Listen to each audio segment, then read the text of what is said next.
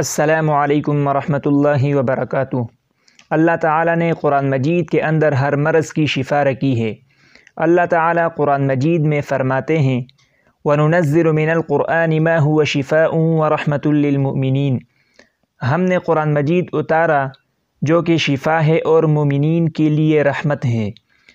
لیکن قرآن مجید سے شفا تب ملتی ہے جب اس پر انسان کا پکا یقین ہو۔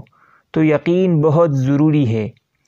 معزز سامعین، آنکھوں کی روشنی کی حفاظت کے لیے سورہ قاف کی آیت نمبر بائیس، فکشفنا عنک غطاءک فبصرک اليوم حدید کو۔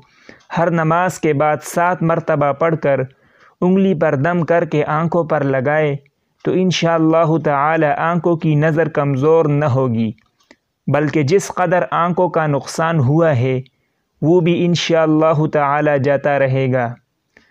آخر میں آپ سے گزارش ہے کہ ہر قسم کے اسلامک انفارمیشن، وظائف، قاعدہ اور قرآن مجید سیکھنے کے لیے چینل کو سبسکرائب کرے